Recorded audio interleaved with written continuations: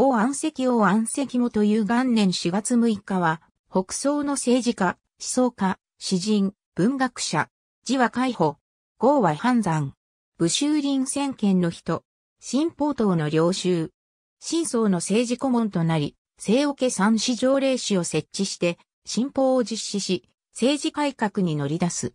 文章家としても有名で、人相に上奏した万古図書は、名文として称えられ、闘争八大家の一人に数えられる。また詩人としても有名である。儒教史上、神学の創始者であり、主来、司教、諸教に対する注釈書、三教審議を作り、学科に立てた。王安石は幼い頃から読書が好きで、白文狂気であった。よく父の王マスに連れられて、各地域に回り、民間の事情を目にした。1039年に46歳だった父の王マスは、高寧通り藩の認知で亡くなった。王安石の父の王マスは、地方間泊まりの官僚で、王安石の家は、家族が多く、豊かでなかった。1042年、22歳の時に4位で紳士となる。その後は家族を養うため、中央官僚より給料が良かった地方官を歴任する。1058年、王安石は政治改革を訴える上層文を出して大きく注目された。後に王安石と激しい論戦を繰り広げることになる芝光らもこの時期には王安石を称賛する声を送っていた。この声を受けて1067年、新宗日地方官から皇帝の側近たる官林学士に抜擢され、さらに1069年には副宰相となり、政治改革に当たることになる。王安石は若手の官僚を集めて姓を計算し条例史という組織を作り、改革を推し進めた。1070年には主席宰相となり、本格的に改革を始める。新法の具体的な内容に関しては、新法、旧法の争いを参照のこと。王安石の新法の特徴は大商人、大地主たちの利益を制限して、中小の農民、商人たちの保護をすると同時に、その制度の中で政府も利益を上げるというところにある。また王安石を中心として週刊審議が成立したのもこの時期である。彼は検討官14名に主来、歌、書の注釈書、三教審議の作成が国の推進事業として開始されたのは1073年から始まり完成したのは1075年でこれは科挙の改革にも影響を与えるものになる。この他、司教審議も王安石の著作である。まず1074年に河北で大干ばつが起こったことを、これは新法に対する天の怒りである。と上奏され、これに乗った皇太后公使、宦官、官僚の強い反対により新宗も王安石を解任せざるを得なくなり、王安石は地方へと左遷された。新法派には王安石以外には人材を書いており、王安石の後を継いで新法を推し進めていた旅慶教などは権力欲が強く、新法派内部での分裂を招いた。翌年に王安石は復職するが、息子の王の死もあり王安石の気力は尽きて1076年に辞職し、翌年に致死して陰性した。ただ、王の引退後も、新宗の意向で、新法継続がなされて、行財政改革に関してはほぼ当初の目的を達成してはいる。しかし、1085年に新宗が死去し、翌年には王安石も死去する。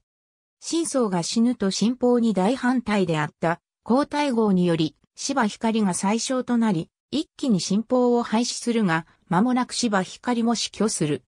王安石、芝光の両巨頭亡き後の新法と旧法の争いは醜い闘争に出し、どちらかの派閥が勝利するたびに、法律も一新されることが繰り返され、大きな政治的混乱を生むことになる。この混乱が北宋滅亡の大きな原因とされる。王安石は政治家であり、文人であるとともに思想家でもあった。その思想、理論は傾向神学と呼ばれた。王安石の思想は多数の書籍と文章で述べられている。代表的な作品としては、週刊審議と自説がある。これらの著作は、後の神学派の主要理論の根拠となった。聖説については、竹氏、純、陽、反四氏の聖説を批判し、彼独自の聖説を立てたと評される。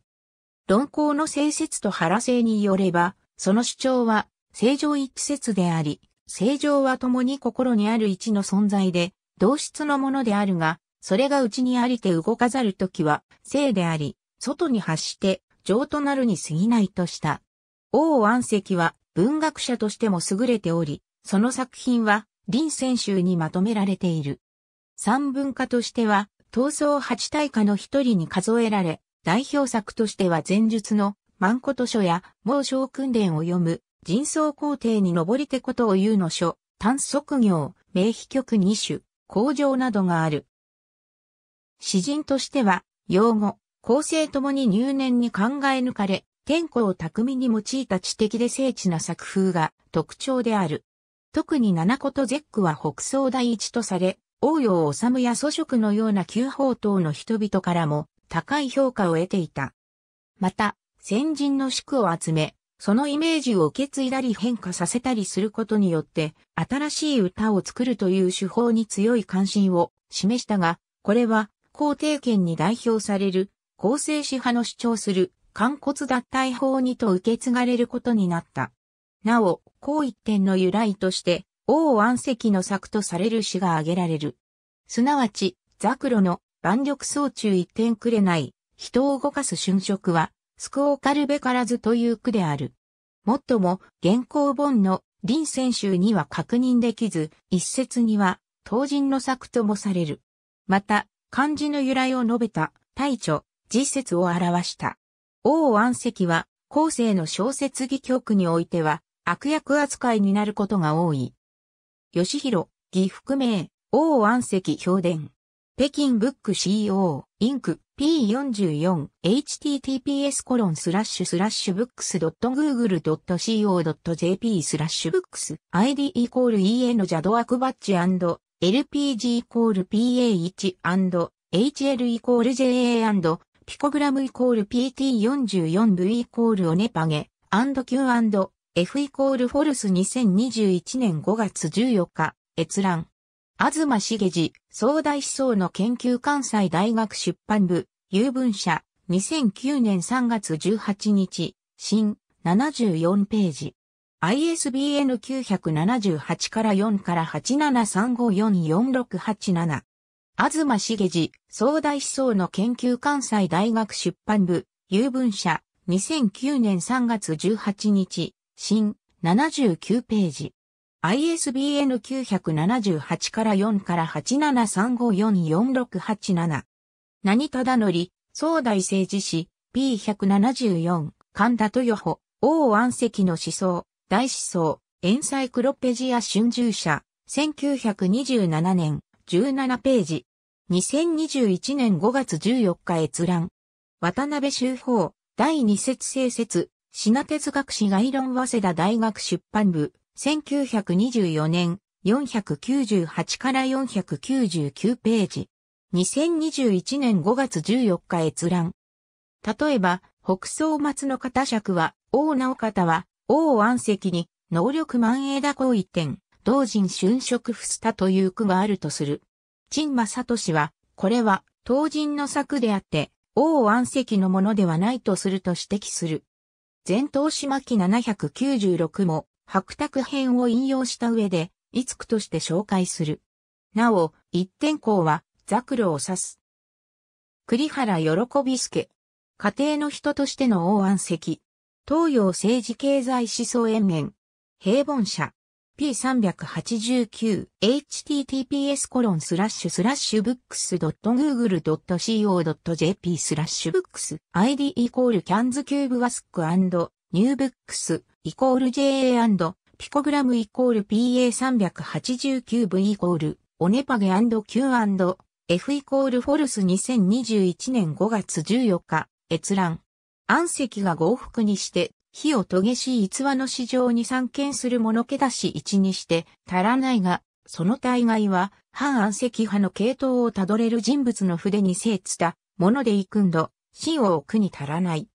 あれの画像もまたその通りで、往々にして悪の相貌に描きなされし、ものを見るのであるが、これとても当てにならないことをびただしい。